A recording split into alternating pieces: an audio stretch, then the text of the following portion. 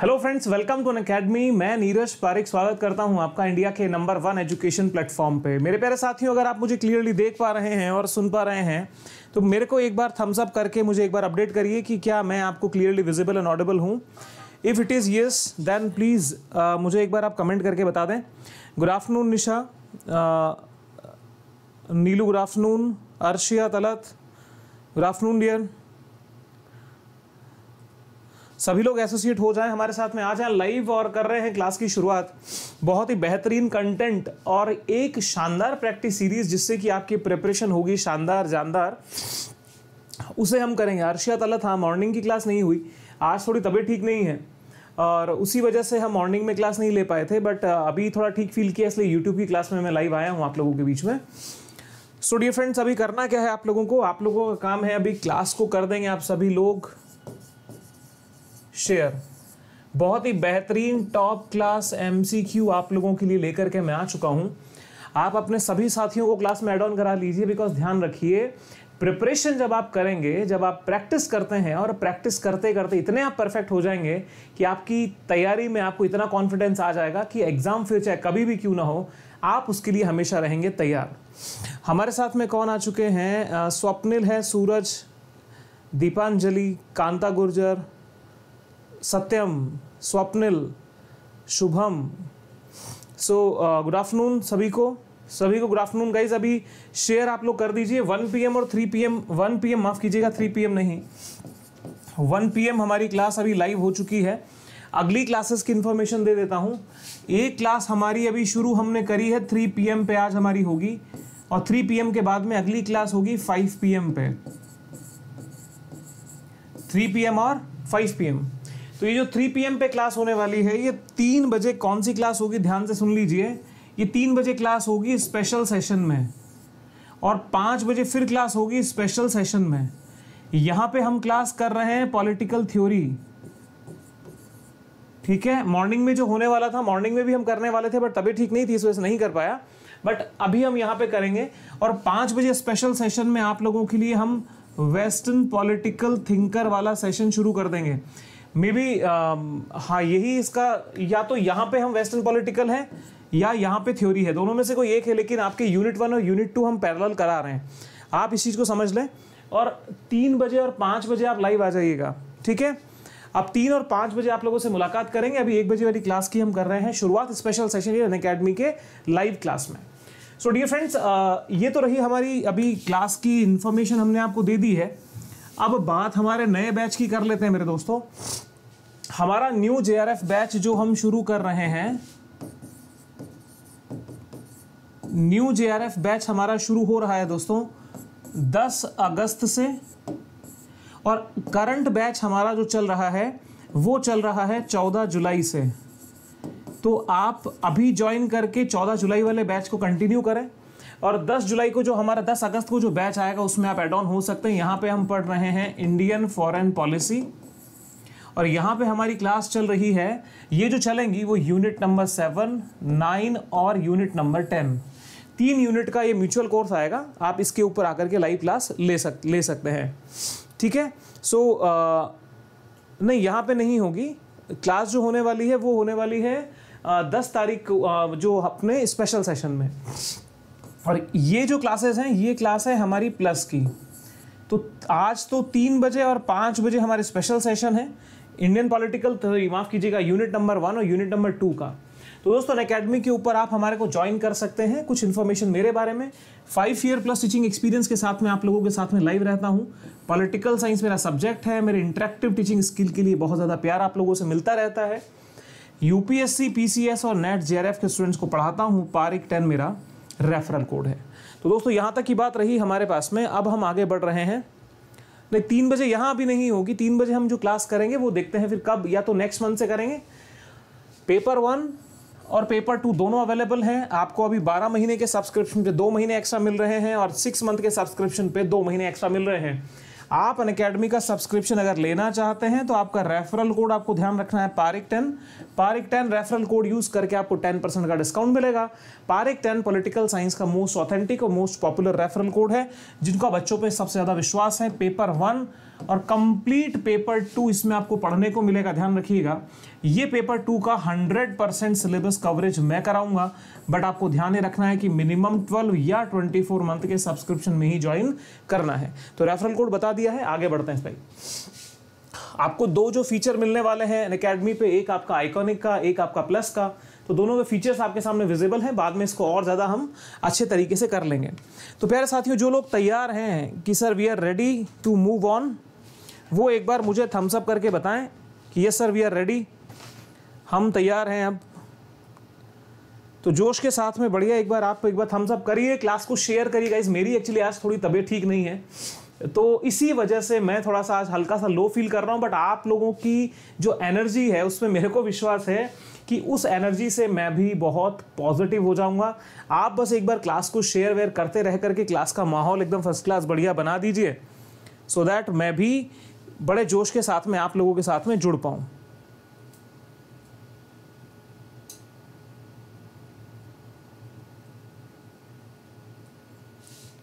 चलिए गाइज़ फिर ठीक है, आप लोग शेयर करेंगे और मैं क्लास को बढ़ाता हूँ आगे। आज थोड़ा सा नए मॉड्यूल में क्वेश्चंस आपके लिए लाया हूँ।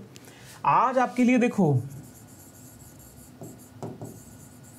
क्वेश्चन होगा क्वेश्चन का आंसर होगा और आज की क्लास में सबसे बड़ी बात है कि टाइप फॉर्मेट में ही एक्सप्लेनेशन भी आपको देखने को मिलेगा। तो क्लास में ही आपको यहाँ पे एक्सप्लेनेशन भी अवेलेबल हो जाएगा। तो अभी आपकी क्लास आज बहुत खास होने वाली है। एकदम नए और शानदार मॉड्यूल में क्लास लेके आए हैं। क्वेश्चन का स्टैंडर्ड आप लोगों को पता ही है कि हम किस स्टैंडर्ड के क्वेश्चंस को फॉलो करते हैं। तो साथियों, मैं कर रहा हूँ शुरुआत आज की क्लास की। लीजिए तो आज का पहला सवाल आप लोगों की स्क्रीन के ऊपर ये रहा। A socialist state believes that the state एक समाजवादी राज्य विश्वास करता है कि राज्य को अधिक से अधिक कार्य दिए जाएँ, कम से कम कार्य दिए जाएँ, नकारात्मक कार्य दिए जाएँ और कोई कार्य नहीं दिया जाए। सोशलिस्ट स्टेट के बारे में ये बात है सोशल स्टेट के बारे में सवाल है। आप लोगों को इसको आंसर करना है, बताइए क्या इसका करेक्ट आंसर आपको लगता है? चारों ऑप्शन आपके सामने हैं। आई थिंक मैं अगर स्क्रीन से हटूं भी तो आप चारों ऑप्शंस को ठीक से देख सकते हैं। बताइए दोस्तों, क्या इसका करेक्ट आंसर आपको लगता है कि इसका करेक्ट आंसर क्या होना चाहिए? एक समाजवादी, यानी जो सोशलिस्ट स्टेट होता है, वो क्या बिलीव करता है? मतलब उसका काम करने का तरीका कैसा होता है? सोशलिस्ट के बारे में यहाँ पे क्लियर सवाल पूछा गया है। आपके जवाब नहीं आ रहे हैं। आई थिंक मुझे विंडो रिफ्रेश करनी चाहिए मे बी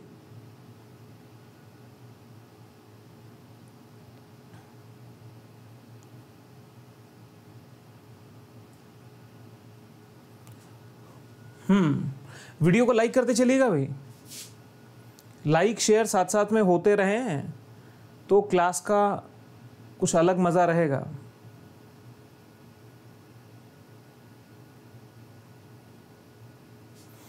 देखिए दोस्तों सबसे पहले अगर हम आंसर की बात करें तो सबसे पहले देखिए कि जो समाजवादी राज्य होता है जो सोशलिस्ट होता है सोशलिस्ट क्या काम करता है? देखिए समाजवाद में राज्य बहुत ज़्यादा पावरफुल हो जाता है राज्य बहुत ज़्यादा एक्टिव हो जाता है और वो सारे के सारे रोल को प्ले करने की कोशिश करता है।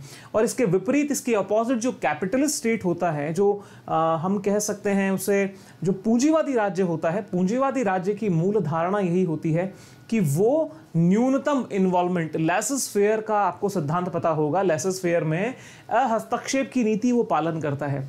तो उसका विपरीत होता है समाजवादी। तो आंसर तो हमारे को एकदम क्लियर दिख जाना चाहिए। ए अधिक से अधिक कार्य दिए जाने चाहिए। To be given more and more work कोई डाउट वाली बात ही नहीं है। इसका एक बार एक्सप्लेनेशन देखते हैं मेरे दोस्तों। करेक्ट आंसर ए आप लोगों को समझ में आ गया।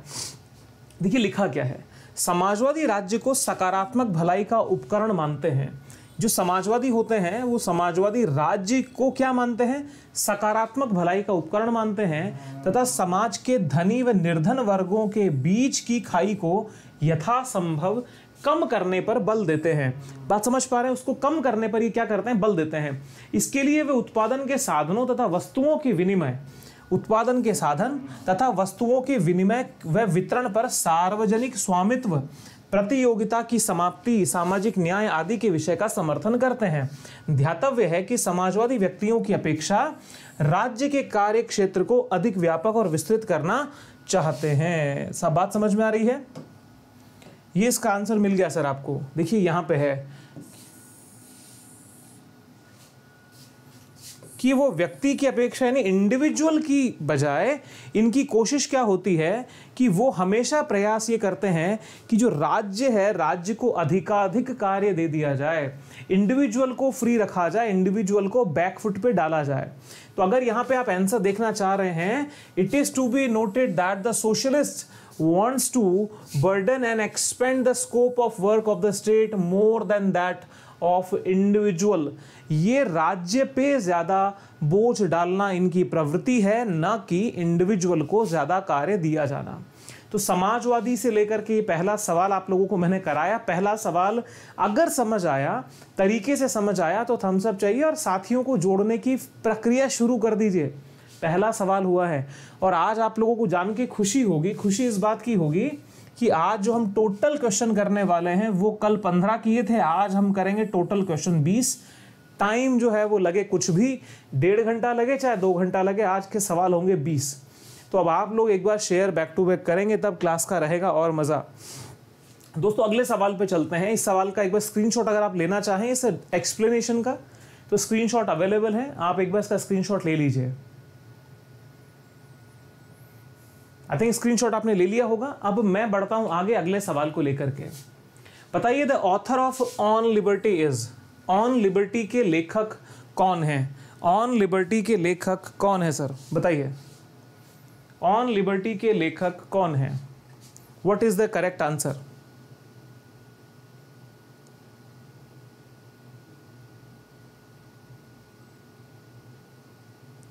questions आ रहे हैं, बहुत ही बढ़िया वाले। अब आप बताएँ। आंसर आना शुरू हो चुके हैं कि नहीं? अभी तक तो आंसर आए नहीं है। सेकंड नंबर क्वेश्चन का अर्शिया ने आंसर दिया है। सबसे पहले अर्शिया कह रही हैं, C back to back answer आ रहे हैं भाई। बैक टू बैक आंसर आ रहे हैं। ऑन लिबर्टी के राइटर कौन है?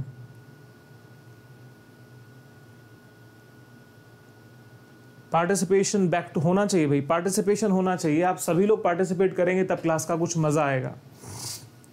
देखिए दोस्तों सबसे पहले जान लीजिए ऑन लिबर्टी के जो राइटर हैं, वो हैं जे एस मिल सी इसका सही आंसर होगा John Stuart Mill John Stuart Mill is the writer of on liberty क्या डिटेल है?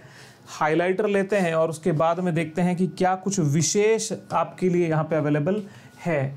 करेक्ट आंसर इज़ सी लिखा है व्यक्तिवाद और स्वतंत्रता के महान उन्नायक जे एस मिल ने अपनी स्वतंत्रता की संकल्पना, अपने प्रसिद्ध निबंध ऑन लिबर्टी ऑन लिबर्टी 1859 के अंतर्गत प्रस्तुत किया था। किसी ने भी इसको 1971 लिखा था। 1971 नहीं है कि 1859 है। ध्यान रखिएगा 1859 के अंदर प्रस्तुत किया मिल के अनुसार मानव व्यक्तित्व के विकास के लिए व्यक्तिगत स्वतंत्रता सर्वथा आवश्यक है। तो कौन सी स्वतंत्रता को सर्वथा आवश्यक माना? व्यक्तिगत स्वतंत्रता को सर्वथा आवश्यक माना है। मिल व्यक्ति को ही समस्त उदात और विवेकपूर्ण तत्वों का स्रोत मानता था, अतः उसने तर्क दिया कि व्यक्ति की स्वतंत्रता समाज की सुख समृद्धि के लिए अनिवार्य है हाईलाइट कर लेते हैं इसको व्यक्ति की स्वतंत्रता समाज की सुख समृद्धि के लिए आवश्यक है इंग्लिश में अगर आप देखना चाहें J.S. Mill presented J.S. Mill presented the concept of his freedom under his famous essay on liberty 1859 and lastly therefore he argued therefore he argued that the freedom of the individual is essential for the happiness and the prosperity of the society क्या clear हुआ content sir एक ही सवाल में कितने सारे question आपको देखने को मिल रहे हैं ऑन लिबर्टी कब लिखा गया 1859 में लिखा गया यही क्लास की इंटेंसिटी होती है सर यही क्लास का मज़ा होता है इन डेप्थ कंटेंट को पढ़ने और पढ़ाने का। पसंद आ रही है तो अपने साथियों को बोलो, भाई आ जाओ फिफ्टी प्लस की क्लास अपनी रेगुलर रहती है। पंद्रह बीस बच्चे शायद दोपहर का आराम कर रहे हैं, या तो उनकी भी लगता है मेरी तरह थोड़ी तबीयत ठीक नहीं होगी, लेकिन आप उनको जगा लो, जब मैं आ गया तो उनको भी आप साथ में ले आइए। ठीक है? तो यहाँ पर ये डिटेल का स्क्रीनशॉट आई थिंक आपको ले लेना चाहिए। मैं आपको स्पेस दे रहा हूँ। Take the screenshot of this my dear friends इत, इतने जो एक्सप्लेनेशन आप लोगों को मिलेंगे आप ये विश्वास करिए आपके पास में बहुत अच्छा कंटेंट इकट्ठा हो जाएगा। कहीं पे कोई परेशानी आपको कभी नहीं आएगी। अगले सवाल की तरफ़ मूव करते हैं। Question number three let's see कि कितने कौन सा क्वेश्चन हम अभी करने वाले हैं? ये रहा सर अगला सवाल। Fabian socialist believe that Fabian Samajwadi मानते हैं। पहले तो ये जानना होगा, फैबियन समाजवादी होते क्या हैं? बट वो क्लास को जब मैं क्वेश्चन को एक्सप्लेन करूँगा देन आई वुड इन्फॉर्म कि इसका करेक्ट आंसर क्या होने वाला है। फैबियन समाजवादी क्या मानते हैं? धीमापन अवसंभाविक है। ऑप्शन तो आपके सामने है ही। ऑप्शन देखिए सर बताइए, क्या लगता है आप लोगों को?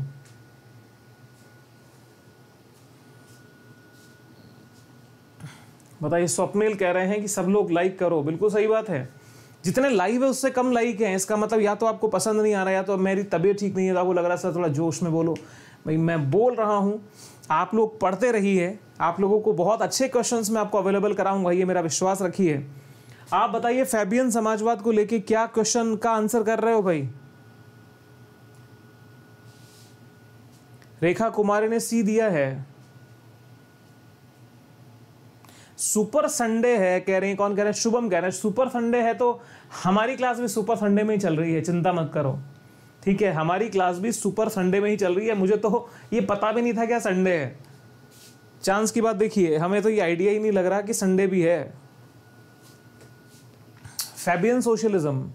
दोस्तों, फैबियन समाजवाद को लेकर के ये सवाल पूछा जा चुका है, आरपीएससी के एग्जामिनेशन में उत्तराखंड पीसीएस के एग्जामिनेशन में और आपके जो छत्तीसगढ़ पीसीएस के एग्जामिनेशन में ये तीन एग्ज़ाम में ये सवाल as it is copy paste हुआ है कि फेबियन समाजवादी की आइडियोलॉजी क्या है? फेबियन सोशलिज्म क्या होता है? इसके आंसर को अगर हम आ, रेखा कह रही है कि सर ऐसा क्यों है? क्यों पता नहीं भाई क्यों इतने काम में बिज़ी रहते हैं संडे का क्या पता लगेगा? काम डेली करते हैं। तो संडे छुट्टी हो तो उनको पता लगे जिनको काम का ऑफ़ आता हो। यहाँ तो हम Monday to Friday Saturday Sunday daily classes लेते हैं आप लोगों के लिए। तो आपका सुपर संडे हम मना रहे हैं। ठीक है? अब देखिए इसका एक्सप्लेनेशन करते हैं। सबसे पहले जान लीजिए इसका करेक्ट आंसर होगा ए धीमापन अवश्यंभावी है। स्लोनेस इज़ इनवेटेबल ये ए इसका सही आंसर होने वाला है। ये फैबियन समाजवाद होता क्या है? इसका थोड़ा एक्सप्लेनेशन को समझने के लिए बढ़ते हैं आगे। अगली स्लाइड की तरफ़। देखिए मेरे दोस्तों ए इसका सही आंसर हो गया। फ़र्स्ट ऑफ़ ऑल हम इसको पढ़ लेते हैं। The movement begin with the founding of the Fabian society on January fourth 1884 तो फैबियन समाजवाद जो था, वो फैबियन सोसाइटी की स्थापना से शुरू होता है। और फैबियन सोसाइटी की स्थापना कब होती है? 4 जनवरी अठारह को। क्लियर है? फैबियस ये जो फैबियस है Fabius was the name of a general of an ancient Rome ये जो फैबियन वर्ड आया है, ये फैबियस वर्ड से आया है और फैबियस वर्ड कौन थे? जो रोमन साम्राज्य में एक जनरल हुआ करते थे आर्मी का अध्यक्ष, या आर्मी का जो चीफ होता है, हम उसको जनरल कहते हैं। ठीक है, in 1887 in 1887 the society announced its basic and stated that the fabian society was an organization of a socialist whose aim was to liberate land and industrial capital from the individual and class ownership and to make the society as its owner for the common good society has to be recognized आंदोलन 4 जनवरी उन्नीस को Fabian society की स्थापना से आरंभ होता है Fabius प्राचीन रोम का एक सेनापति का नाम था ये देखो बहुत प्यार बेहतरीन डिटेल आप लोगों के लिए आ रही है 1887 में सोसाइटी ने अपने आधार, अपने बेसिक्स की घोषणा की और बताया कि फैबियन सोसाइटी एक समाजवादियों का संगठन है। तो फैबियन सोसाइटी क्या होगा एक समाजवादियों का संगठन है, जिसका उद्देश्य क्या है? भूमि, यानी इंडस्ट्रियल कैपिटल जो होती है ना, भूमि तथा औद्योगिक पूंजी को व्यक्तिगत और वर्गीय स्वामित्व से मुक्त करने और सामान्य हित के लिए पूर्ण समाज को उनका स्वामी बनाकर समाज को पुनः संगठन करना है। अब आप मुझे बताइए कि जब हम भूमि और औद्योगिक पूंजी को री ऑर्गेनाइजेशन करेंगे, उसका रिकंस्ट्रक्शन करेंगे तो क्या वो मिनट दो मिनट का काम है क्या? क्या वो मिनट दो मिनट का काम है? क्या उसमें टाइम नहीं लगेगा? भाई साहब, क्या बड़ा पैन इकट्ठा हुआ। क्या उसमें टाइम नहीं लगेगा? उसमें समय लगेगा कि नहीं लगेगा? एक लंबा प्रोसेस होगा कि नहीं होगा? तो धीमापन अवसंभावी है। आप कोई भी बड़ा लक्ष्य अगर आगे लेकर के चलना चाहते हैं तो आपको फैबियन सोसाइटी कहती है कि हमको जितना भी इंडिविजुअल्स के पास में संपत्ति का संकेंद्रण है, हम क्या करेंगे? उसका बंटवारा कर देंगे पूरे समाज में। यानी पूरा समाज ही उसका मालिक होगा तो इक्वलिटी क्रिएट होगी और रियल सोशलिज्म वहाँ पे तैयार हो जाएगा। रियल सोशलिज्म वहाँ पे तैयार हो जाएगा। बात समझ रहे हैं? वो रियल सोशलिज्म की बात यहाँ पे आई है। तो फैबियन समाजवादी धीमेपन को अवश्य मानते हैं। इसका जो डिटेल का स्क्रीनशॉट है, वो आप मेरे दोस्तों ले सकते हैं। स्क्रीनशॉट आपके सामने स्क्रीन ओपन है आपके सामने। फिर बढ़ते हैं अगले सवाल की तरफ़।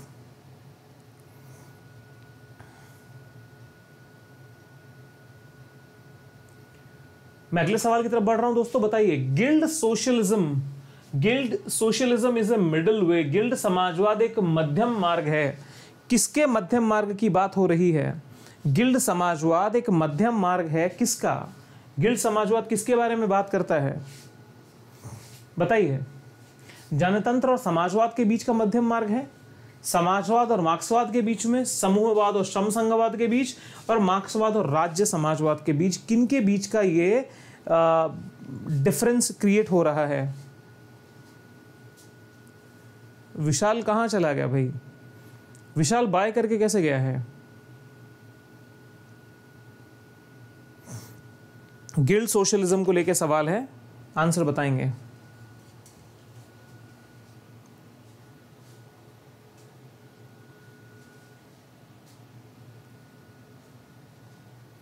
राज्य समाजवाद के बारे में क्या बात यहाँ पे हो रही है?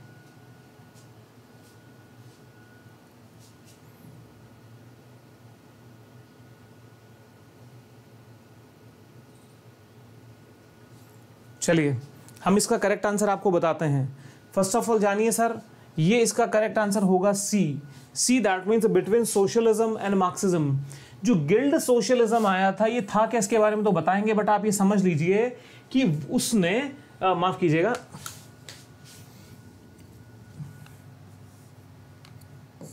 Between collectivism and a labour uniform बात समझ रहे हैं? सी इसका करेक्ट आंसर होगा। अब मैं आप लोगों को बता रहा हूँ कि इसका एक्सप्लेनेशन क्या है।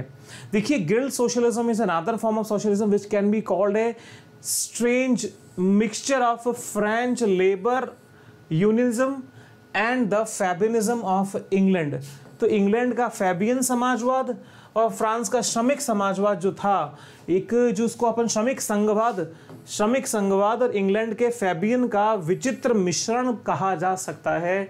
ये होता है मेरे दोस्तों गिल्ड समाजवाद। तो आपको जैसे मैंने अभी फैबियनिज्म समझाया था, फैबियन समाजवाद तो फैबियन समाजवाद कहाँ से आया? इंग्लैंड। और इंग्लैंड के बाद में अगर हम श्रमिक संघवाद की देखेंगे, लेबर यूनियनिज्म तो ये कहाँ से आ गया है? फ्रांस।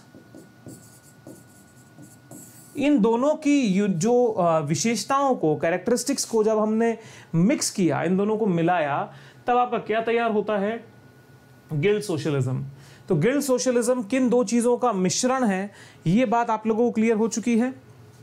गिल्ड सोशलिज्म किन दो विचारों का मिक्सचर है, क्या यह क्लियर है आप लोगों को? यस और नो दोस्तों, ये हो गया है। अगले सवाल पे आ जाइए। Fascism supports world wars on the ground that फासीवाद विश्व युद्धों का समर्थन करता है, इस आधार पर कि, किस आधार पर करता है दोस्त? किस आधार पर जो फांसीवाद होता है, वो समर्थन करता है विश्व युद्धों का? विश्व युद्धों का समर्थन किस आधार पर करता है फांसीवाद? ऑप्शंस आपके सामने हैं। युद्ध के बड़े पैमाने पर जनहत्या नहीं है, युद्ध सही उद्देश्यों के लिए लड़े जाते हैं, युद्ध स्वाभाविक है और उपयोगी भी, युद्ध धर्म के विस्तार में सहायक होते हैं। फांसीवाद किस आधार पर समर्थन करता है युद्धों का?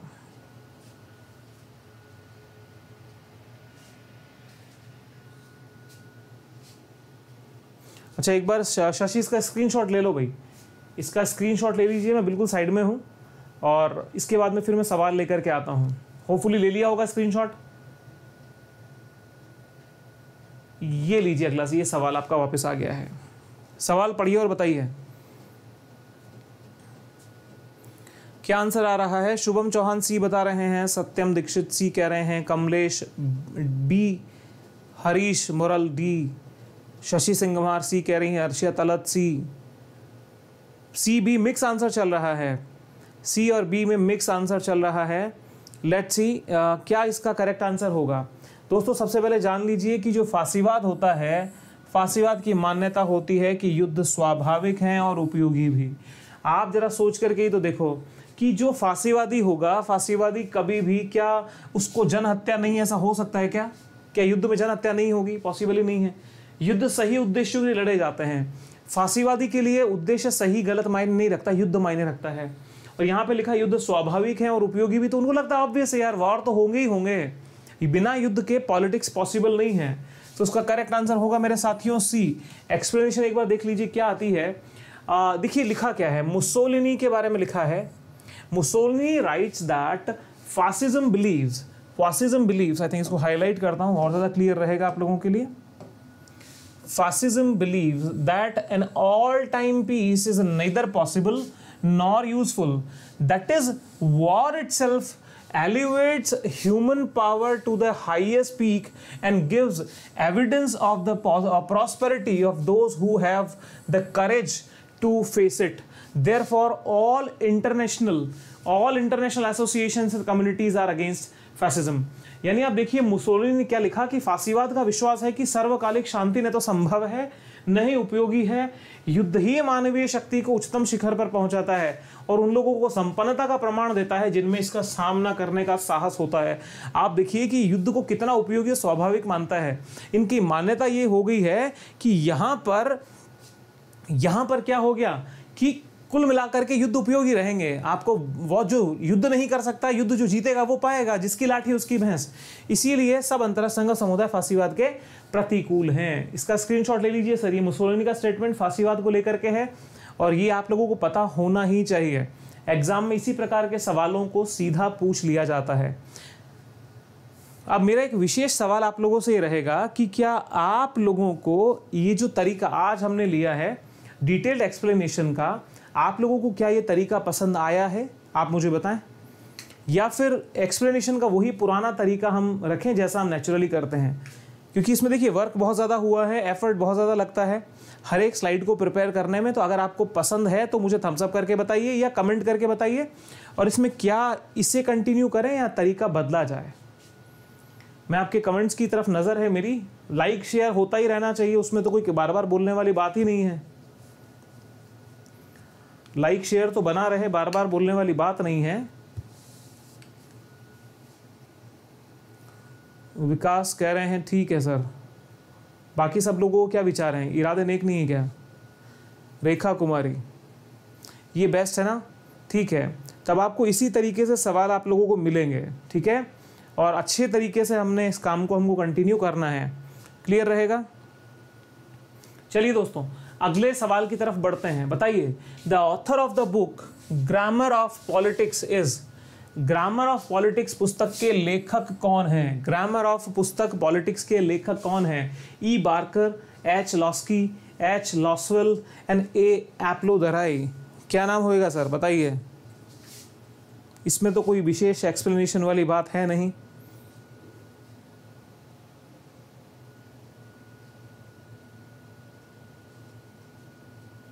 ग्रामर ऑफ़ पॉलिटिक्स ये तो हर कोई बता देगा यार।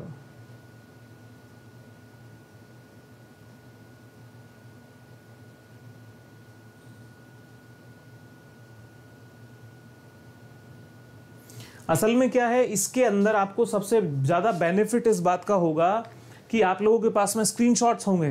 ठीक है पीडीएफ का तो मिलना कभी पॉसिबल हो, कभी नहीं हो लेकिन स्क्रीनशॉट्स अगर डिटेल एक्सप्लेनेशन के आ गए तो आपको फिर पीडीएफ की बार बार रिक्वायरमेंट नहीं होगी। इसलिए मैं इस पैटर्न को चूज़ कर रहा हूँ। आंसर क्या दे रहे हो? आंसर बिल्कुल सही है। H Laski is the correct answer sir Laski इसका सही आंसर रहने वाला है। ग्रामर ऑफ़ पॉलिटिक्स लिखी किसने? एच लॉस्की ने लिखी है। ये इसका सही आंसर है। और ग्रामर ऑफ़ पॉलिटिक्स ये बहुत ज़्यादा फ़ेमस बुक है सो इसको बार बार बोलने की कहीं ज़रूरत है ही नहीं। अगले सवाल पे चलते हैं, सर, बताइए। H G Sorel one Sorel is basically यहाँ पे इज़ आएगा। H G Sorel is H G Sorel is बताइए, सर, क्या है? एक गिल्ड सोशलिस्ट थे एक worker workers with socialist Fabian was a society actually English translation गड़बड़ है। फैबियन uh, सोशलिस्ट थे फैबियन गिल्ड सोशलिस्ट थे। क्या थे? बताइए यूटोपिय सोशलिस्ट थे।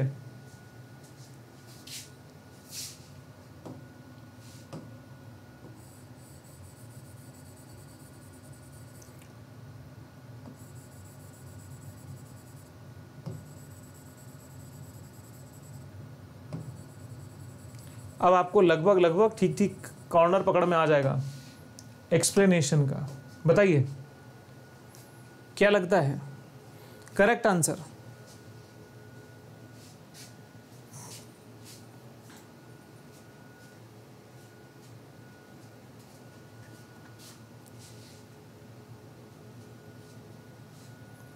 देखिए दोस्तों, ये जो एच जी सोरेल जो थे एच जी सोरेल की विचारधारा जहाँ पे जाके मिलती है मेरे दोस्तों, वो आपका है श्रमिक समाजवाद।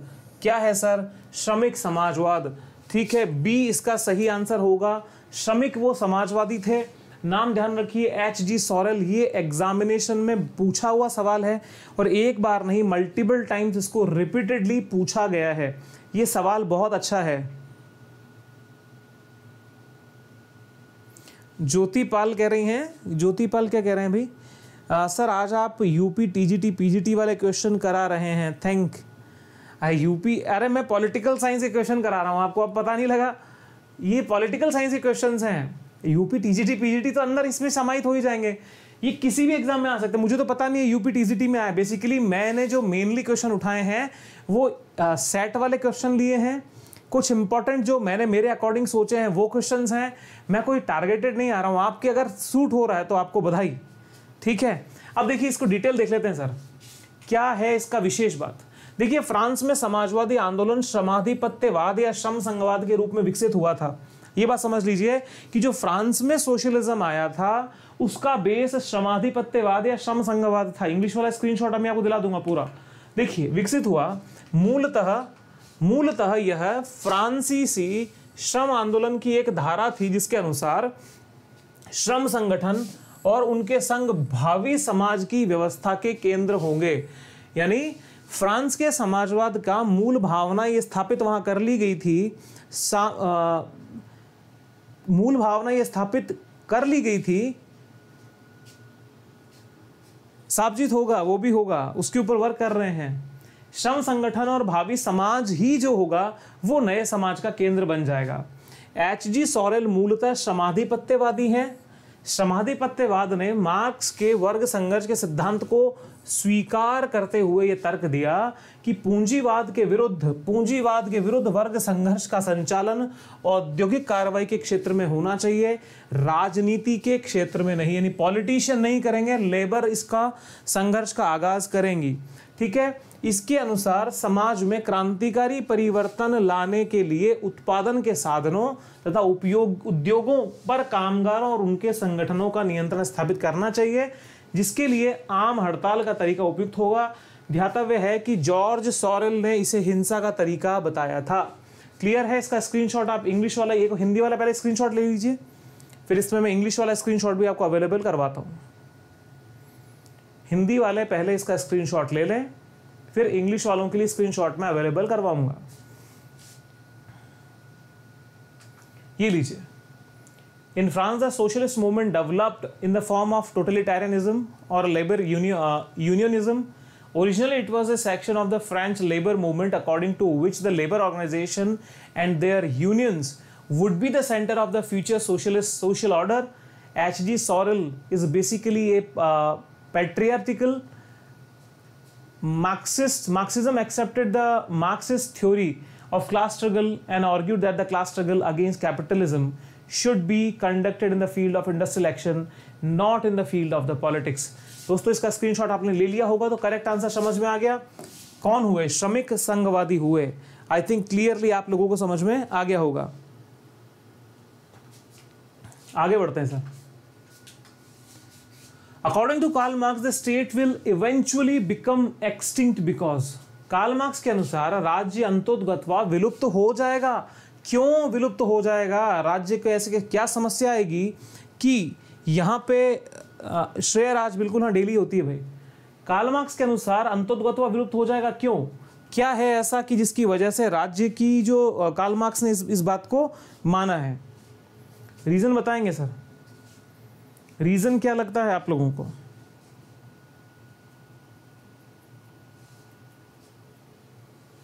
हाँ जी, पूजा कुमारी, तीन बजे क्लास होने वाली है। तीन बजे क्लास होगी, पाँच बजे फिर होगी। ठीक है, तीन बजे भी होगी और पाँच बजे भी होगी। कार्ल मार्क्स को लेकर के सवाल पूछा गया है। आंसर चाहिए।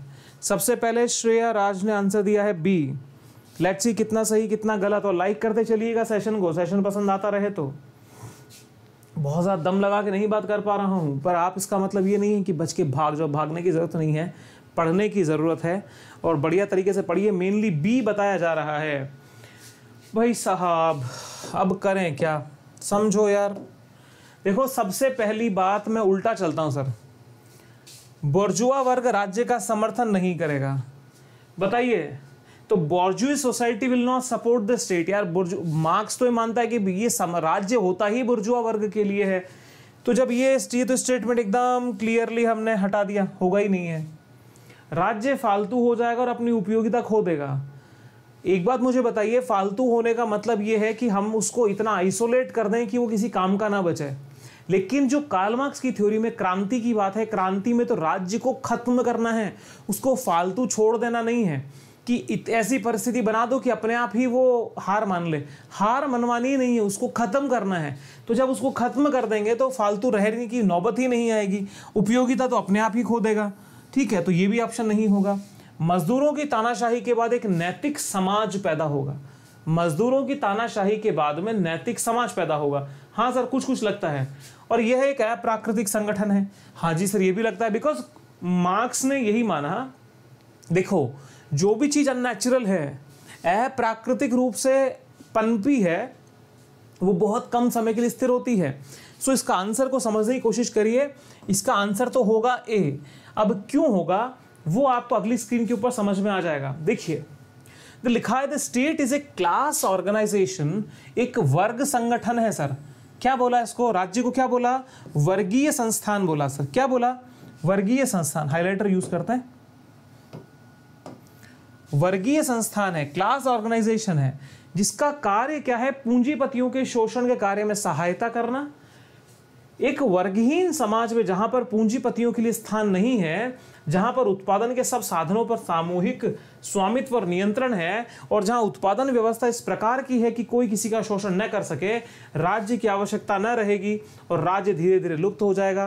कहने का मतलब एक समाज में ज़रूरत ही नहीं है, वो एक अननेचुरल पोजिशन के अंदर खड़ा है। याद रखिएगा, सवाल का उत्तर एकदम चिपका लीजिए, रट लीजिए।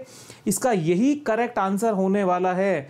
ठीक है? अब आप समझ जाइए कि अप्राकृतिक संगठन है। अप्राकृतिक संगठन माना है कार्ल मार्क्स ने। State is an unnatural organisation right इसलिए अंतोदगत्वा विलुप्त हो जाएगा। विलुप्त होना और राज्य को खत्म करना दोनों में अंतर है।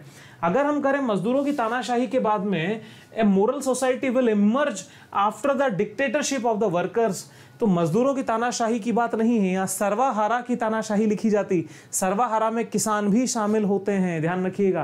तो सर्वाहारा नहीं कि मजदूर लिखा, फिर भी सही मान लें, लेकिन जो अप्रोप्रिएट मोस्ट अप्रोप्रिएट आंसर होगा, वो इसका आंसर होगा ए इसका स्क्रीनशॉट आप ले सकते हैं सर हिंदी और इंग्लिश दोनों में डिटेल एक्सप्लेनेशन अवेलेबल है। स्क्रीनशॉट लीजिए और मुझे बताइए, फिर हम आगे बढ़ते हैं अगले सवाल की तरफ़।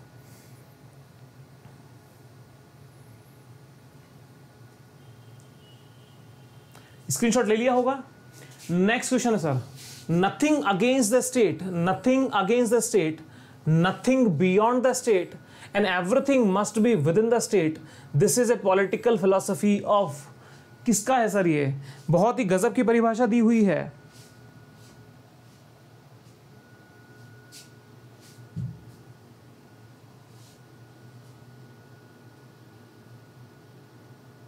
शशि पूछ रही सर, उपयोगिता का संस्थापक, उपयोगिता का, उपयोगिता क्या होती है? मतलब उपयोगिता का संस्थापक कोई कैसे हो सकता है? क्वेश्चन का आंसर करो, सर। अच्छा उपयोगितावाद पूछा है क्या? उपयोगितावाद? आप समझा देंगे, तीन बजे वाली क्लास में आना, देखो, क्लास चलेगी। करेक्ट आंसर बताएँ, सर, सबसे पहले इसका। कौन बोला ये स्टेटमेंट बहुत ज़बरदस्त स्टेटमेंट है, सर। पर आपकी सोच से परे है, ये और बता देता हूँ। आप जिसको सोचोगे, समझोगे थोड़ा सा माइंड लगाओ।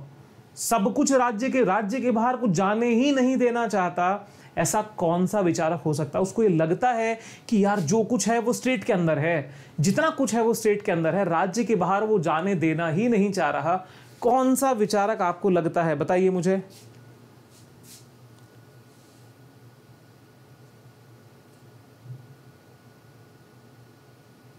हम बताएँ करेक्ट आंसर करेक्ट आंसर कर लो, देखो। राज्य के बाहर सब कुछ छोड़ने की बात। देखो, अगर मार्क्स को हम करते हैं तो होगा नहीं। क्यों नहीं होगा? क्योंकि मार्क्स क्या मानता है? मार्क्स तो राज्य का अंत करना चाहता है। भाई, राज्य का अंत चाहता है कि नहीं चाहता? माओवाद है। माओवाद भी अंतिम रूप से मार्क्सवाद का ही तो विस्तृत एक अपडेटेड वर्जन है। तो यहाँ पे हटा दो। अब इन दोनों में से देखो कि कौन सबसे ज़्यादा राज्य को स्टेट का दीवाना रह सकता है। तो भाई मुसोलिनी ही तो होगा। अपने स्टेट, अपनी तानाशाही को बरकरार रखना चाहता है। तो मुसोलिनी, मेरे दोस्तों, इसका सही आंसर है। C would be the correct answer of this question C इसका सही आंसर होगा। Mussolini would be the most extremely correct one ठीक है, इसका डिटेल एक्सप्लेनेशन देखिए सर लिखा क्या है? पढ़िए, समझिए चीज़ों को, सर। इसी में मज़ा है, पढ़ने के अंदर ही सिलेक्शन पढ़ने से होगा, चीज़ों को अच्छे तरीके से। देखो, क्या लिखा है? मुसोली ने लिखा है कि फांसीवाद, राजनीतिक और आर्थिक दोनों क्षेत्रों में उदारवादी सिद्धांतों के निश्चित तथा पूर्ण रूप से विरुद्ध है। वह समाजवाद के भी विरुद्ध है। देखो, समाजवाद के भी विरुद्ध है और यह मध्यम नीति पर आधारित व्यक्तिवाद के भी। नाजीवाद तथा फांसीवाद दोनों ही निरंकुशवादी निरंकुशवादी ये देखिए, विचारधाराएँ हैं, फांसीवाद कहता है, राज्य का सर्वोच्च स्थान है, मनुष्य के सब अधिकार राज्य की देन है, राज्य को पूर्ण अधिकार है कि वह व्यक्तिगत संपत्ति अथवा उत्पादन प्रणाली को नियमित कर सके और आवश्यकता पड़ने पर व्यक्तिगत संपत्ति का अपहरण भी कर सके। तो sir and ma'am, Mussolini would be the correct answer of this question Mussolini is the correct answer I think ये हाईलाइटर गलत यूज़ कर लिया है हमने। येलो कलर का हाईलाइटर लेना है। ठीक है, सर? और कुल मिलाकर के, देखिए, राज्य को पूर्ण, देखो, मनुष्य के सब अधिकार राज्य की देन है। राज्य को पूर्ण अधिकार है कि वह व्यक्तिगत संपत्ति अथवा उत्पादन प्रणाली को नियमित कर सके, आवश्यकता पड़ने पर व्यक्तिगत संपत्ति का अपहरण भी कर सके। तो राज्य को सर्वे सर्वा मानने वाला, राज्य को सर्वे सर्वा मानने वाला कौन हो गया? मुसोलिनी, इसका सही आंसर होगा।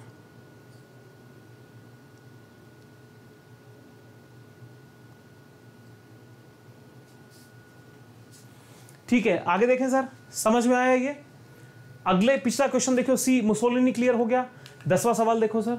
Marxism and fascism Marxism and fascism are in agreement मार्क्सवाद और फासीवाद किस पर एक मत होते हैं?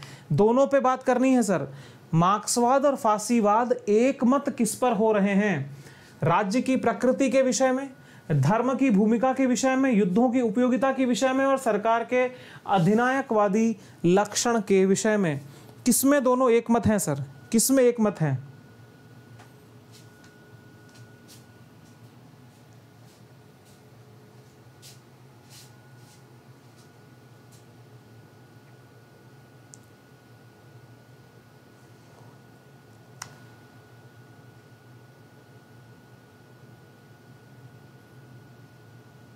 नेहा शर्मा कहीं सर से, स्पेशल सेशन लेना है। आप लेना चाह रहे हो कि मुझे कह रहे हो या मुझसे पूछ रहे हो? नेहा आपका सवाल समझ में नहीं आया। अभी कोई स्पेशल क्लास दूसरी चल रही है आप वहाँ लेना चाहते हो। मुझे कह रहे हो कि सर आपको लेना है या आप पूछ रहे हो कि सर क्या हमें लेना है? समझ नहीं पाया आपकी बात में।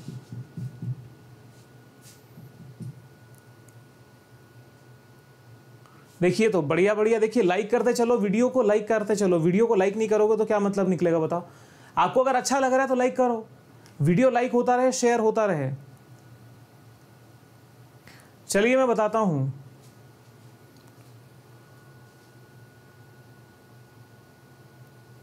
करेक्ट आंसर देखिए। करेक्ट आंसर होगा about the authoritarian in character of the government सरकार के अधिनायकवादी लक्षण को लेकर के उन दोनों के बीच में सहमति है, सर।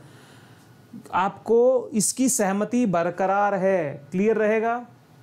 इसकी सहमति बरकरार है राष्ट्र इनकी सरकार के अधिनायकवादी लक्षण को लेकर के। देखिए, sir, Marxism Marxism and fascism are unanimous about the totalitarian characteristic of the government एकाधिकारवादी लक्षण जो सरकार के होते हैं, अधिनायकवादी लक्षण जो होते हैं, उनके विषय में दोनों एकमत हैं Marxism believes in the totalitarianism of the proletariat and fascism is a totalitarian concept fascism believes in one thing, order, discipline and power. For its uh, attainment, the state can sacrifice the freedom and authority of the authority of the individual. यानी आदेश अनुशासन और शक्ति ये तीन शब्द ध्यान रखिएगा। आदेश अनुशासन और शक्ति ये दोनों ही चीज़ें ठीक है? कि जो शक्ति है ऑर्डर डिसिप्लिन एंड पावर ये दोनों अगर इनको तीनों को पाना है तो स्टेट कैन सेक्रीफाइस क्या? Freedom and authority of the individual. वो निजी व्यक्ति के अधिकारों का शोषण कर सकते हैं बिना किसी तरीके से। ठीक है, बात समझ में आ गई? बिना किसी तरीके से, बिना कोई रोक टोक के उसको आगे बढ़ाया जा सकता है। तो अधिनायकवाद के लक्षण एकदम समझ में आ गए। दोनों की क्या सिमिलैरिटी है? मार्क्सवाद जो होता है, वो सर्वाहारा की तानाशाही की बात करता है।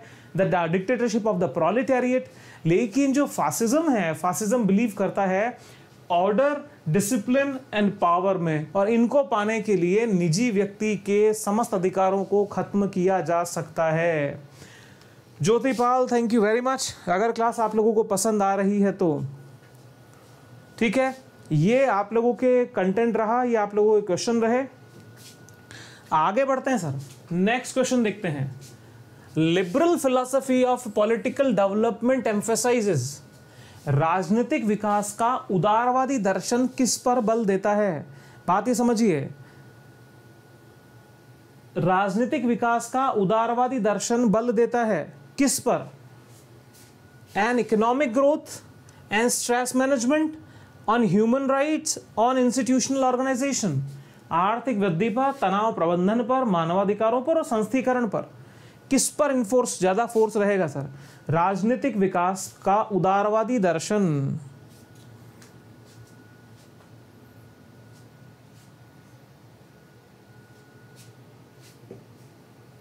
सवालों की इंटेंसिटी बहुत गजब की है। अब आप लोग हैं कि कितना इसको फोकस कर लेते हैं? देखिए, कहा, एक कहा ऐसा जाता है कि सूरज जो होता है ना, वो प्रकाश भरपूर देता है। खूब अच्छे से प्रकाश देता है, पूरी धरती को प्रकाश देता है। उसको आप गाली दोगे तो भी वो लाइट देगा। उसको अगर सम्मान दोगे तो भी वो लाइट देगा। लेकिन अगर आपने अपनी खिड़कियाँ बंद की हुई है, खिड़कियाँ बंद करके पर्दे भी लगाए हुए हैं ना तो लाइट आप कुछ भी कर लो दिन के बारह बजे भी रात के बारह बजे वाला माहौल आपके कमरे में रहता है। बात समझने वाली ये है कि ज्ञान बहुत जगह बहुत अच्छे तरीके से मिल रहा है। हम उसे किस तरीके से अटेंड कर रहे हैं?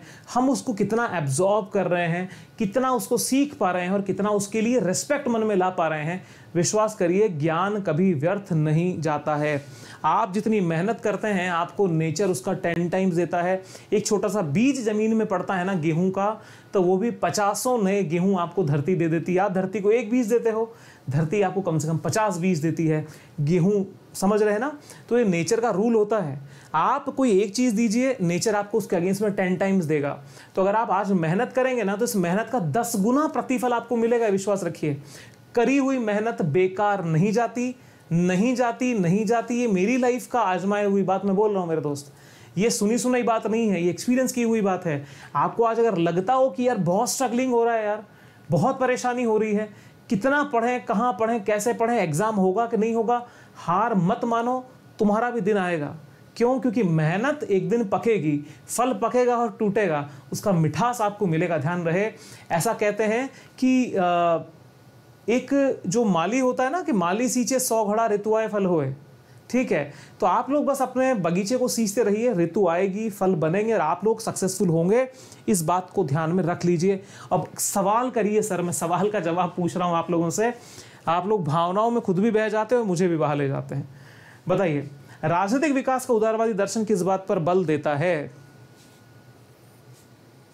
हम बताएँ सर लिबरल्स किस पर बल देते हैं?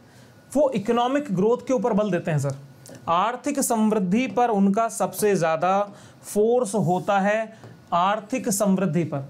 आप देखिए, उदारवादी यानी लिबरल यानी उसका जो इकोनॉमिक एस्पेक्ट होगा दैट वुड बी कैपिटलिज्म वो आर्थिक समृद्धि को ही सब कुछ मानते हैं। यूएसए की जो प्रणाली है, वो अर्थव्यवस्था को आगे लेकर के जल्द बढ़ते हैं। अब देखिए बिल्कुल मेहनत करिए मेहनत करिए आप सभी लोग। सभी लोग सक्सेसफुल होंगे और पॉलिटिकल साइंस में तो आप लोग प्रॉब्लम में नहीं आएँगे, मेरा प्रॉमिस है आप लोगों से। इकोनॉमिक ग्रोथ अब होता क्या है? थोड़ा देख लिया जाए। देखिए the liberal philosophy of political development lays emphasise on institutionalism institutionalisation the level of institutionalisation of a political system can be defined by its adaptability its adaptability autonomy and coherence of its organisation and purposes similarly the level of institutionalisation of an organisation or a particular can also be measured by its adaptability, complexity, autonomy and coherence. उदारवादी दर्शन। Actually इसका 11 वाला question number 11 का question number 11 का ये देखिए। इसका इसका थोड़ा सा हमारा मिस्टेक यहाँ पे हो गई है। यही आर्थिक समृद्धि नहीं जाएगी। ये जाएगा संस्थीकरण के ऊपर इंस्टीट्यूशनलाइजेशन ठीक है? Institutionalisation would be the correct answer actually आगे दो क्वेश्चन आमने सामने थे। थोड़ा सा मेरे को कन्फ्यूज़न हो गया। बात समझिए राजनीतिक विकास में उदार दर्शन संस्थीकरण पर बल देता है। ये आंसर इसका डी रहेगा ए नहीं होगा। स्क्रीनशॉट ले सकते हैं सर इसका। स्क्रीनशॉट एकदम क्लियरली इसका ले लीजिए और पढ़िए, समझिए अच्छे से।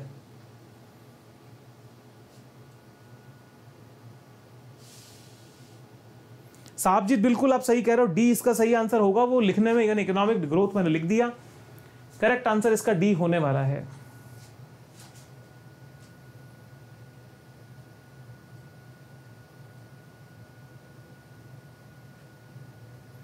आगे बढ़ते हैं दोस्तों। मुझे लगता है अगले सवाल पे बढ़ना चाहिए। सवाल बहुत अच्छे तरीके से आगे बढ़ रहे हैं। अब देखते हैं। अगले सवाल और शेयर होता रहेगा इस एक बार शेयर बैक टू बैक करो। पॉलिटिकल साइंस वालों को ये पता होना चाहिए कि पॉलिटिकल साइंस का सबसे बेस्ट चैनल और सबसे टॉप क्लास यहाँ पे हो रही है। कंटेंट भी हो रहा है, आप लोगों की प्रैक्टिस भी हो रही है। नेक्स्ट क्वेश्चन बताइए sir which of the following pair is not correctly matched is not correctly matched sir कौन सा युग में सुमेलित नहीं है? हाईलाइट कर रहा हूँ, जो सबसे ज़्यादा ट्रिगर पॉइंट होता है उसको। क्या पूछा है? नहीं है। बताइए। फांसीवाद, मुसोलिनी, अराजकतावादी, बैकुनिन, समाजवादी थॉमस मूर, बहुलवादी क्रॉप्टा क्रॉप्टकिन। फासिज्म मुसोलिनी एनार्किस्ट हैं। आपके Bakunin, socialism, Thomas More, and pluralism, Kropotkin. क्या लगता है, सर?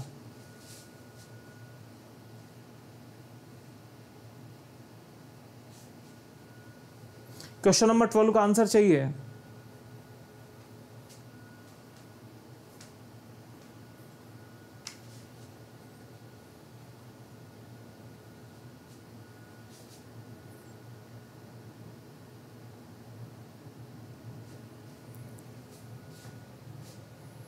सोचो देखो, मेरे ख्याल में अगर आपको आंसर करेक्ट नहीं पता होगा तो अभी बहुत सारे बच्चे ना एलिमिनेशन के बेस पे आप इसका सही आंसर निकाल सकते हो।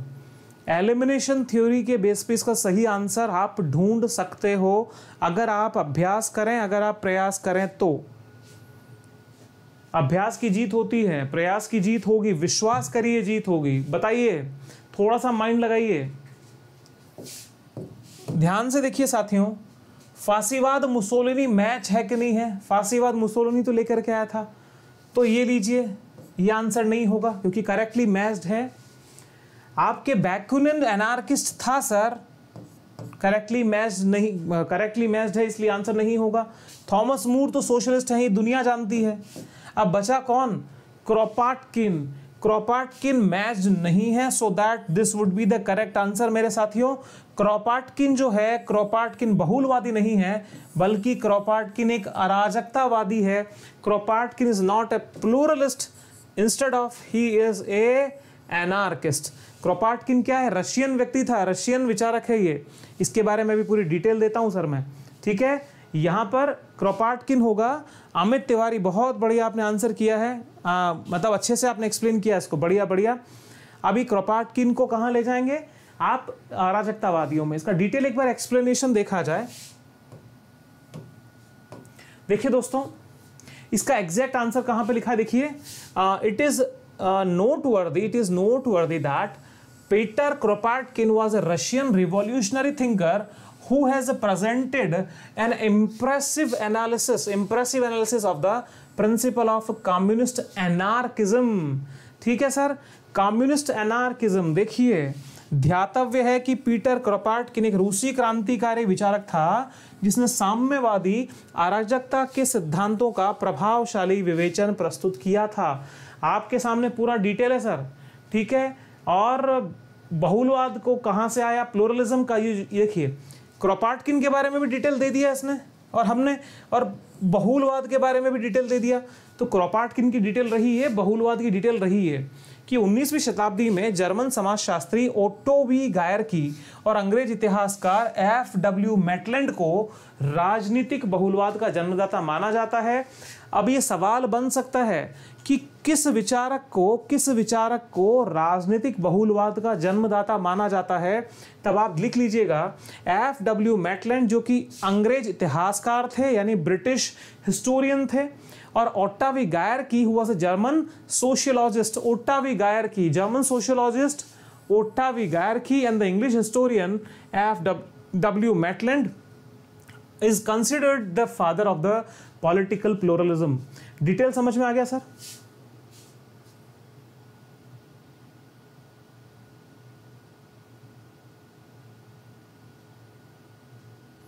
विकास कुमार विकास कुमार, चिंता नहीं करो भाई, क्यों नहीं पढ़ाई कर पा रहे हो? तुम पहले भी आए हुए हो क्लास में को तुम्हारा नाम शायद पढ़ा पढ़ा लग रहा है। थोड़ा सा फोकस्ड होकर अप्रोच बनाओ, और एग्ज़ाम के पहले नर्वस होने की ज़रूरत नहीं है। एक दिन, दो दिन, तीन दिन लगातार क्लासेस में रहो स्पेशल में रहो यूट्यूब पे रहो प्लस में आ जाओ। रेगुलर रहो क्लास में, आपको अपने आप हैबिट हो जाएगी क्लास की। डरने की ज़रूरत नहीं है, ठीक है? हम आपके साथ हैं अन आपके साथ है एक एक उस बच्चे के साथ हैं। जो कहीं गाँव दूर में बैठा है और उसको पढ़ने में दिक्कत है तो अन अकेडमी आपके लिए बेस्ट सोल्यूशन है। डोंट वरी पॉलिटिकल साइंस में प्रॉब्लम नहीं आएगी, मेरा प्रॉमिस है तुम्हारे से। क्लास में बस रेगुलर रहो, ठीक है? अब देखिए सर यहाँ तक बात समझ में आई? तो इसका स्क्रीनशॉट एक बार ले लो। ये ये सारा कंटेंट आपके सामने बहुत अच्छा कंटेंट इकट्ठा हो रहा है। इस कंटेंट की, जैसे अगर मैं कहूँ ना हमारी भाषा में तो होड़ नहीं होती सर ये वो क्वालिटी की चीज़ है, इसका, इसकी होड़ होती ही नहीं है। ठीक है स्क्रीनशॉट लेना चाह रहे हैं। बिल्कुल बिल्कुल, ये लो। और पूरा हट जाते हैं स्क्रीनशॉट ले लो सर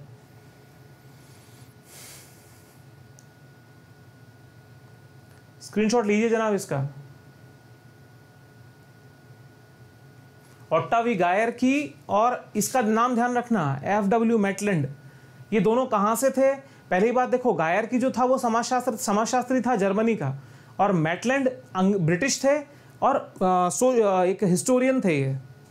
क्लियर है? स्क्रीनशॉट सबने ले लिया है। अब बढ़ते हैं आगे। आगे आ जाओ अगले सवाल की तरफ़। Question number thirteen which one of the following is not a principle of a parliamentary government in a democracy? इतने शानदार और मिक्स क्वेश्चन आ रहे हैं ना मतलब मज़ा आ रहा है। देखो आप which one of the following is not highlight करने वाली चीज़ क्या है? Is not a principle of a parliamentary government in a democracy एक जनतंत्र में, एक जनतंत्र में संसदीय सरकार का कौन सा एक सिद्धांत नहीं है? कौन सा एक सिद्धांत नहीं है? वीरो, जवाब दो। और जो नए मेरे दोस्त आ रहे हैं, क्लास को शेयर लाइक करते रहो। कंटिन्यू शेयर लाइक बरकरार रहना चाहिए, क्लास का यही मज़ा है। पढ़ते रहो, सीखते रहो बस। Learning is a no life long process है ग्रेजुअल प्रोसेस है। पढ़ने वालों के लिए, पढ़ाने वालों के लिए भी लाइफ लॉन्ग प्रोसेस होता है। बहुत से लोग हैं। जान रहा हूँ इन दिनों में बहुत सारों को। बेचारे सीखने गति बहुत धीमी है उन लोगों की। बट सीख रहे हैं अभी अभी। तो collective responsibility of the executive universality of the legislative first prime minister among equals judicial security और ऑफ़ फंडामेंटल राइट्स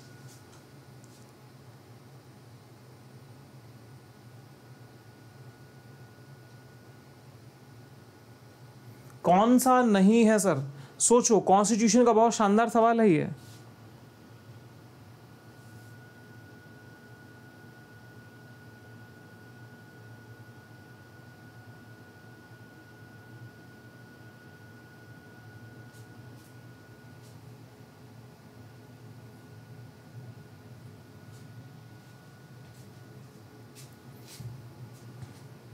बताएँ, सर। करेक्ट आंसर क्या लगता है?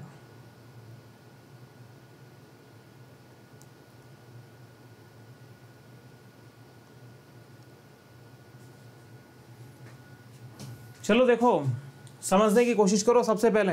पहले तो मैं बताता हूँ करेक्ट आंसर क्या है। करेक्ट आंसर होगा ये, मूल अधिकारों की न्यायिक प्रतिभूति।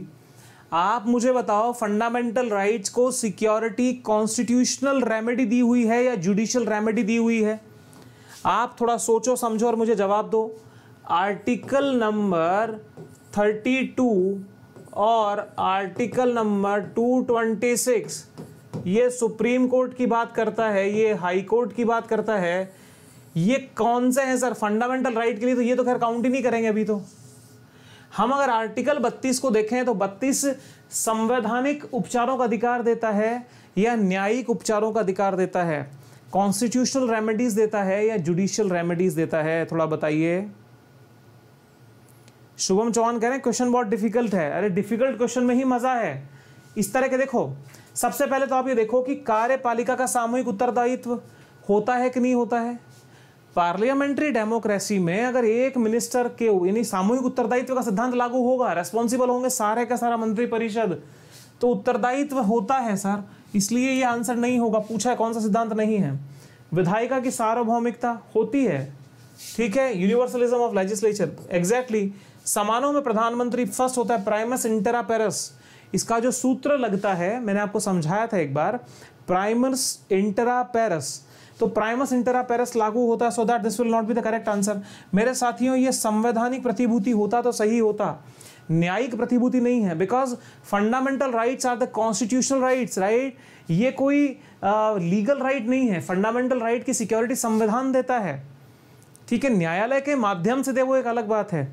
और लीगल राइट्स की सिक्योरिटी न्यायालय देता है। तो लीगल राइट में और कॉन्स्टिट्यूशनल राइट में फ़र्क है मेरे दोस्तों। फंडामेंटल राइट लीगल राइट नहीं होता है तो न्यायिक प्रतिभूति नहीं है। So that it would be the correct answer explanation देख लीजिए आपके सामने। हिंदी वाला पहले देखते हैं। संसदात्मक सरकार उसे कहते हैं, जिसमें सरकार कारणीय अधिकार का एक मंत्रिमंडल हाथ में, सरकार में मंत्रिमंडल के समस्त सदस्य व्यक्तिगत रूप से तथा व्यवस्थापिका के प्रति उत्तरदायी होते हैं। संसदात्मक प्रणाली में विधान, मंडल या संसद को शासन का सर्वोच्च अंग न माना, न अंग माना जाता है, ये माना होगा, ठीक है? अंग माना जाता है क्योंकि मंत्रिपरिषद मंत्रिमंडल का कार्यकाल फाइनली देख लो ना यार, अपना आंसर क्या है? आंसर ये रहा। ध्यातव्य है कि मूल अधिकारों की न्यायिक प्रतिभूतियाँ संसदीय सरकार का सिद्धांत नहीं है। ये इसके इंग्लिश वर्जन आपके सामने है। स्क्रीनशॉट आप ले सकते हैं।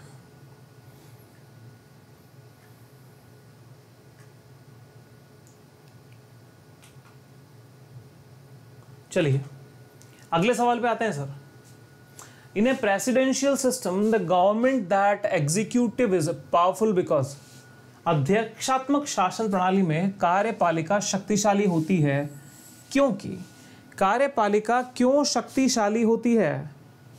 क्यों शक्तिशाली होती है? बताइए। कार्य अध्यक्षात्मक शासन प्रणाली, अध्यक्षात्मक याद करना है तो यूएसए याद करिए, अमेरिकी शासन प्रणाली याद करिए। क्यों शक्तिशाली होती है?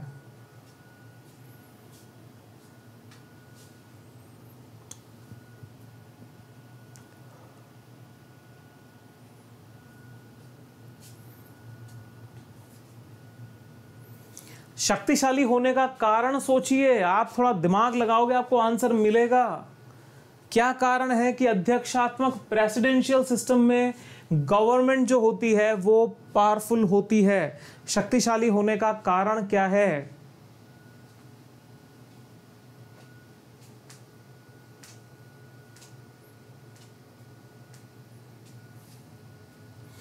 और जो भी लोग देखिए, जो ऑफलाइन देखते हैं ना क्लास को, उनसे मैं रिक्वेस्ट ये करूँगा कि आप लोग अभी भी मान लीजिए स्पीड बढ़ा के क्लास देखते हैं ऑप्शन आप करते हैं, मेरा बोलना ये है कि आप एक बजे आइए डेली लाइव लाइव में जो पार्टिसिपेशन होता है ना, उसका एक बार आप एक्सपीरियंस करिए, फिर आप रियलाइज़ करेंगे कि एक्चुअली क्या मज़ा होता है क्लास को करने का और समझने का। क्या आंसर दिया है? मिक्स आंसर आ रहे हैं सर सबसे क्लियर बात जान लो। आज एक बात बताओ, हमारी जो गवर्नमेंट है, हमारी जो संसदीय सरकार है इस सरकार को एश्योरेंस दे दिया जाए कि आप कुछ भी काम करो, आपका कार्यकाल स्थिर रहेगा सर आपका जो टेन्योर है वो फिक्स है। यानी आपका टेन्योर एकदम फिक्स रहेगा, आपको कोई हटाने वाला नहीं है तो सरकार अपने आप शक्तिशाली हो जाएगी। क्योंकि जब बहुमत में सरकार आती है तो उसके गिरने का खतरा सबसे कम हो जाता है। न्यूनतम हो जाता है कि सरकार के गिरने का खतरा घट गया। इसलिए हम उसको मज़बूत सरकार कहते हैं। जो प्रेसिडेंशियल गवर्नमेंट होती है प्रेसिडेंशियल गवर्नमेंट में तो ये पहले से ही तय होता है कि वो बहुत पावरफुल रहेगी और उसका कार्यकाल स्थिर रहेगा। तो सर इसका करेक्ट आंसर क्या बनेगा? इसका कार्यकाल स्थिर होता है। इसका एक्सप्लेनेशन देखिए सर एंड मैम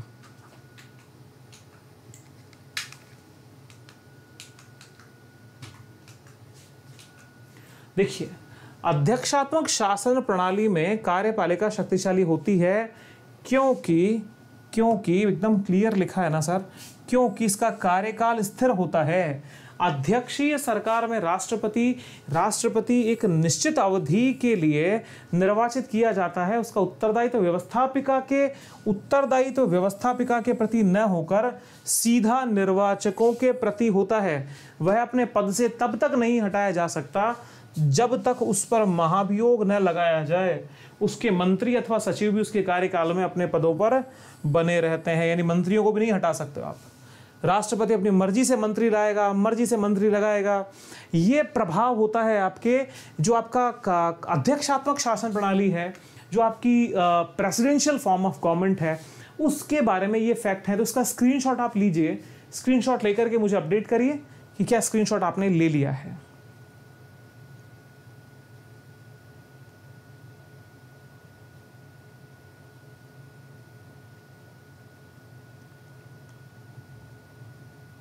लीजिए सर, स्क्रीनशॉट ले लिया होगा। अगले सवाल पे आइए sir. According to Dicey according to Dicey in a federal government Dicey के अनुसार एक संघात्मक शासन में क्या विशेषता होती है दोस्तों? डाइसी के अनुसार संघात्मक शासन में क्या विशेषता होती है? क्या उसकी विशेषता है?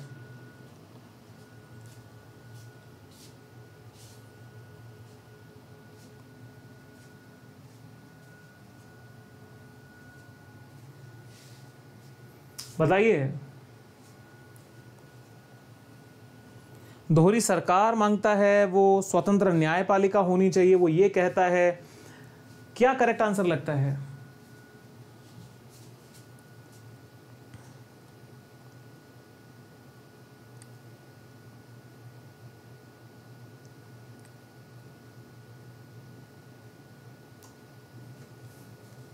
सुनिए सर, सुनिए। करेक्ट आंसर देखिए सबसे पहले। डाइसी देखो, संघात्मक व्यवस्था की बात हो रही है ना? आप सुनिए बात मेरे को। फेडरल स्ट्रक्चर की बात हो रही है। फेडरल स्ट्रक्चर के अंदर आप देखिए कि जो कौन सी सबसे बड़ी बात विशेषता वो माँगता है, वो होता है सर, देखो, अगर वो संघ भी नहीं होगा तो भी स्वतंत्र न्यायपालिका वहाँ हो सकती है। विधायिका में इकाइयों के समान प्रतिनिधित्व, राष्ट्रपति का मुख्य कार्यपालक, नहीं सर दोहरी सरकार का होना, डायरकी की बात जहाँ पे आती है, दोहरी सरकार डायर की द्वैध शासन तो नहीं कहेंगे, दोहरी सरकार कहेंगे ड्यूअल गवर्नमेंट कुल मिला करके यहाँ पे किन दो सरकारों की बात हो रही है? यहाँ बात हो रही है सेंट्रल गवर्नमेंट या यूनियन गवर्नमेंट की प्लस स्टेट गवर्नमेंट की। केंद्र सरकार, राज्य सरकारों की बात यहाँ होती है। आप इस बात को समझ रहे हैं डाइसी के अनुसार क्या इसकी विशेषता आपके सामने पेश पेश की गई है। बात समझ पा रहे हैं, सर? ऑल ऑफ़ यू संघात्मक शासन की बात में दो सरकारें यहाँ पे आ चुकी हैं। दो सरकारें मतलब इसका सही आंसर क्या हो जाएगा? दोहरी सरकार होनी चाहिए। इसका एक्सप्लेनेशन जो था, वो स्लाइड एक्चुअली क्वेश्चन ही दो बार रिपीट हो गया है। कोई बात नहीं, मैं समझा रहा हूँ। डाइसी यहाँ पे दो सरकारों की बात करता है। वो कहता है केंद्र सरकार होनी चाहिए, एक राज्य सरकार होनी चाहिए। तो सर बताओ पहले यहाँ तक का कंटेंट क्लियर समझ में आया क्या? यहाँ तक का कंटेंट क्लियर समझ में आया?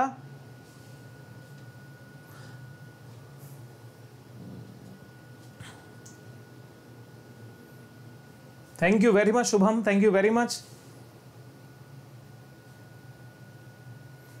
अब देखो, अब आप लोगों का देखिए, मैं आप लोगों को पहले की शिकायत थी कि सर आपकी क्लास हमारी रेगुलर नहीं आ रही। अभी हमारी क्लास रेगुलर है। आप इसे मना नहीं कर सकते हैं। यूट्यूब पे एटलीस्ट मैं रेगुलर आप लोगों के बीच में आ रहा हूँ। आपसे मैं एक चीज़ चाहता हूँ कि हम बहुत ही जल्दी, बहुत जल्दी, ज़्यादा बड़ी बात नहीं है 100 प्लस कितने दिन में पहुँचेंगे? हमारे को ये 100 प्लस की क्लास चलानी है लाइव और उसके बाद में हमारा टारगेट अगला वही टेन टाइम हम प्लस करेंगे। ऑल ऑफ़ यू बताइए, क्या ये पॉसिबल है? अभी हम 50 प्लस लाइव पे तो आ चुके हैं। हम पाँच सात से शुरू किए थे। 50 प्लस की लाइव हमारी हो रही है। आप लोगों का प्यार है। अगला टारगेट है हमारा 100 प्लस का लाइव और उसके बाद 1000 plus live is it possible is it possible होगा कि नहीं होगा? बहुत बड़ी बात तो नहीं है। अभी आप लोगों को करना है। करने वाला कोई और नहीं है। आप लोग अपने फ्रेंड्स को बताइए, अपने साथियों के साथ में शेयर कर दो, हर उस बच्चे तक क्लास को पहुंचाओ जो पॉलिटिकल साइंस पढ़ना चाहता है। पॉलिटिकल साइंस के लिए तो आगे पीछे एक बजे वाली क्लास याद रखो, एक नंबर क्लास एक बजे। पॉलिटिकल साइंस की एक नंबर क्लास एक बजे। एक बजे का टाइम फिक्स करके आइए क्लास में आप लोगों को मज़ा आएगा, ये गारंटी है। तो दोस्तों, आज आप लोगों ने हमारे साथ में ज्वाइन किया। अब आपको इन्फॉर्मेशन हमारी अगली क्लास की देता हूँ। अगली क्लास की इंफॉर्मेशन है, अगली क्लास हमारी हो रही है तीन बजे। इसके बाद में इसके अगली क्लास हो रही है पाँच बजे। अगली क्लास है हमारी स्पेशल सेशन की, और उसके बाद में भी एक स्पेशल सेशन है अकेडमी के लर्निंग ऐप पे।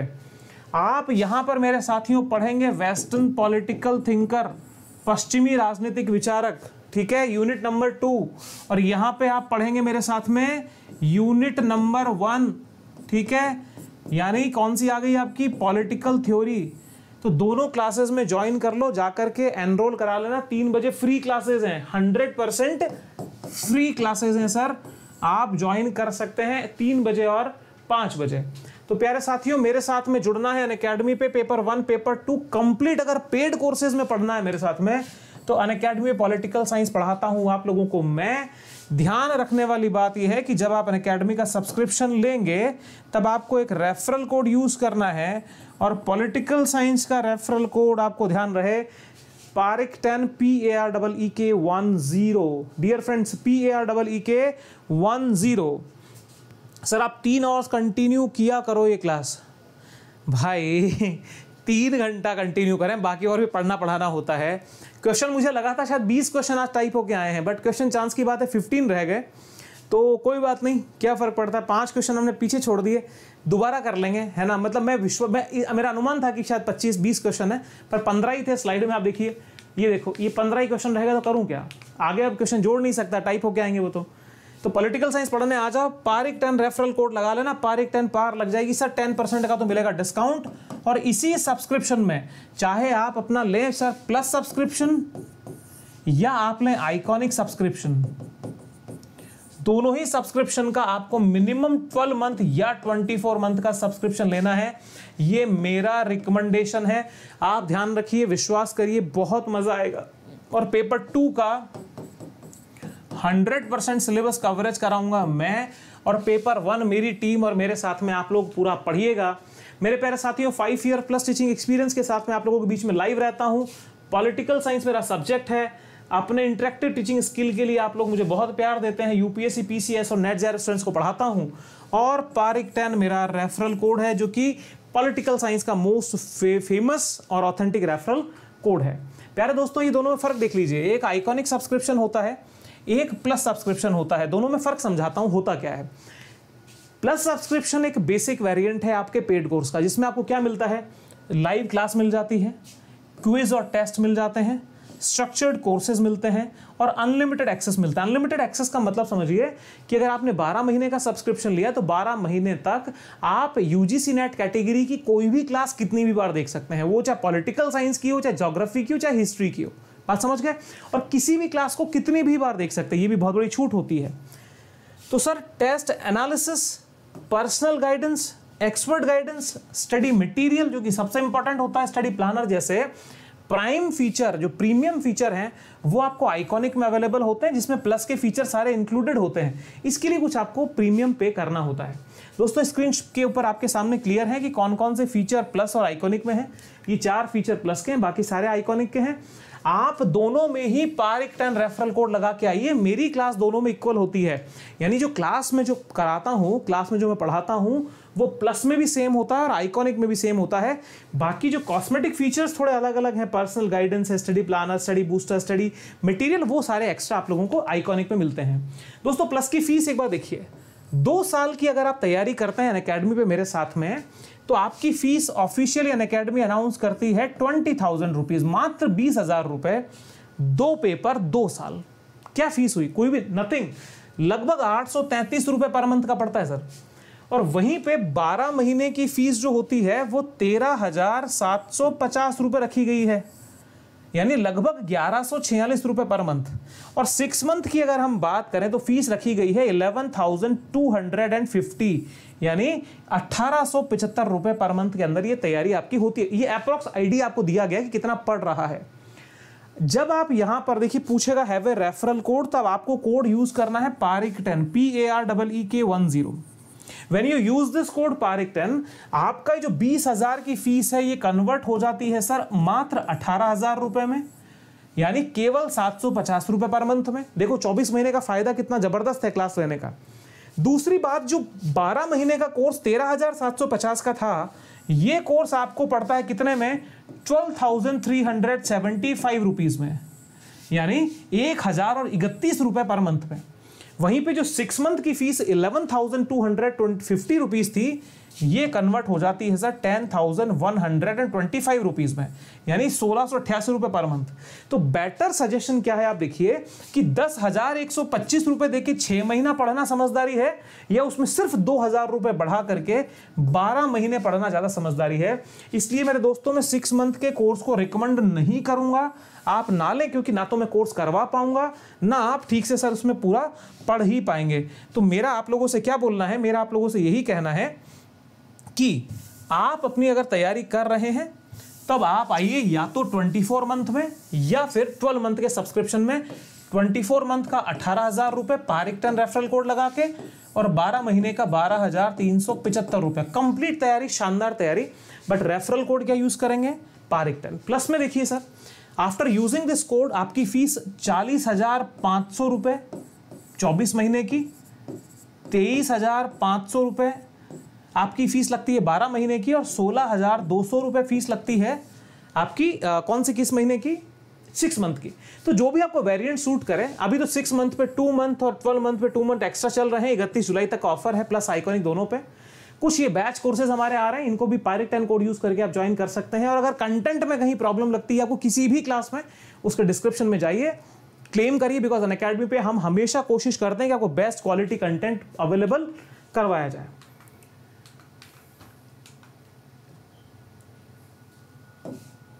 तो दोस्तों, उम्मीद है क्लास पसंद आई होगी आप लोगों को। तो लाइक करिए क्लास को शेयर करिए और सब्सक्राइब करिए और 3 पीएम के ऊपर मिलने आ जाइए अन अकेडमी के स्पेशल सेशन में। तो जो जो तीन बजे आने वाले हैं रिकॉर्डेड क्लास दी सर की टेन पेपर की। चलो, ठीक है, फिर मुलाकात करते हैं आपसे कहाँ पे? अन अकेडमी का लर्निंग ऐप पे तीन बजे। क्या पढ़ेंगे? वेस्टर्न पॉलिटिकल थिंकर चलिए रेडी रहिएगा। Have a nice day and let's crack it bye bye